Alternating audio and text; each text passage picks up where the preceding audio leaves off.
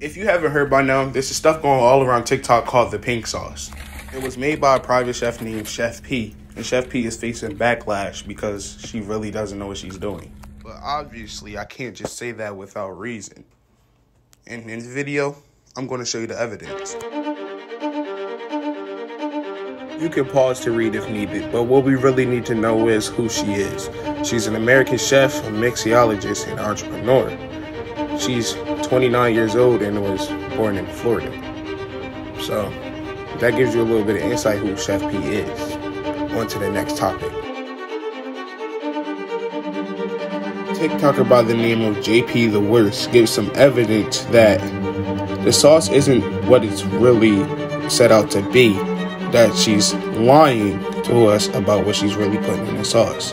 Alright, I had to cut the music before the video plays, but I'm just putting this here because he explains it way better than I could. Had to cut some parts out of the TikTok because it was kind of long, but he explains it very well within what I give you. But then I'm going to point something out that I haven't seen anyone else notice. So the things that I have now seen other people talk about. Now, the label is crazy. Like, it equals out to like 40,000 calories for a bottle, which is definitely not correct. The fact that vinegar is spelled wrong immediately jumped out to me, huge red flag. The fact that there is milk in it. Granted, it's allegedly a very small amount, but still something that you would typically want to keep cold. So already kind of off putting. The interesting thing about dressings that some people don't know if it's not a vinaigrette, mayo is probably the main ingredient. If it does not have mayo, it's almost guaranteed to use mustard. The reason that most dressings, non vinaigrette dressings, use either mayo or mustard is because it acts as a binding agent. A lot of times you get like a balsamic vinaigrette. If you let it just sit there, it's going to separate because it's oil and vinegar, it's not going to mix well. Even if you use like an immersion blender, it'll separate. Which is what makes the texture of this sauce so weird. Even with the fact that it's like mostly water, if you were to use honey as your binding agent and just honey, it wouldn't be quite as dark as the fruit itself, but the honey would darken it. It wouldn't be this light. Also, if you were using enough honey to actually bind the ingredients, it would be thicker than this. So I was thinking there has to be mayo, or at the very least, mustard in it. And then I came across this video, which you see something that looks an awful lot like mayo. And if you look at the ingredients list, there is nothing that looks like this listed here. Even if this is not mayo, at the very least, she is using something that's not here to give it that particular color and consistency. She's definitely not telling us the full ingredients list. Well, after that, we can all just give him a big round of applause because he explained that perfectly.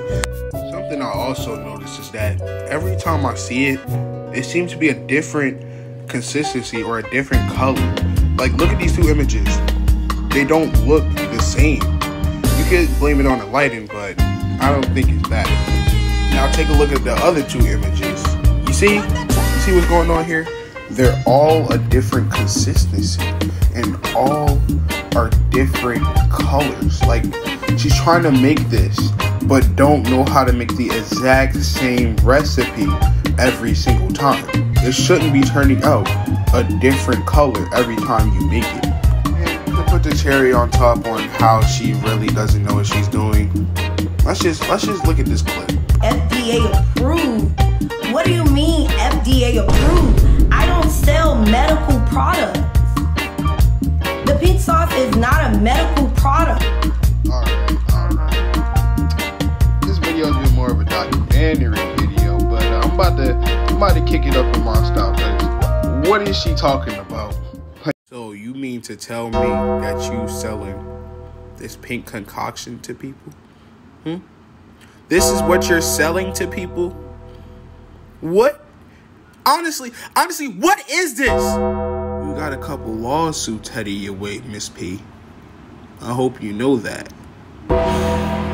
They are not going to stop until you are dry of your money.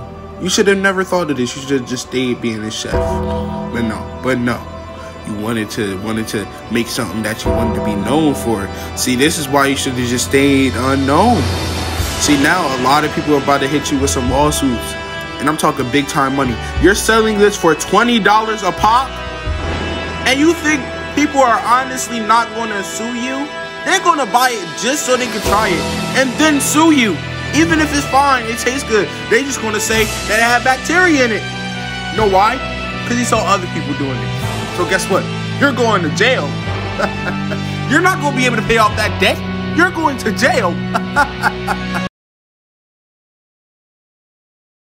There's a few simple ways she can resolve these issues by maybe hiring a team or maybe, you know, including cooling packs when she's delivering them to people.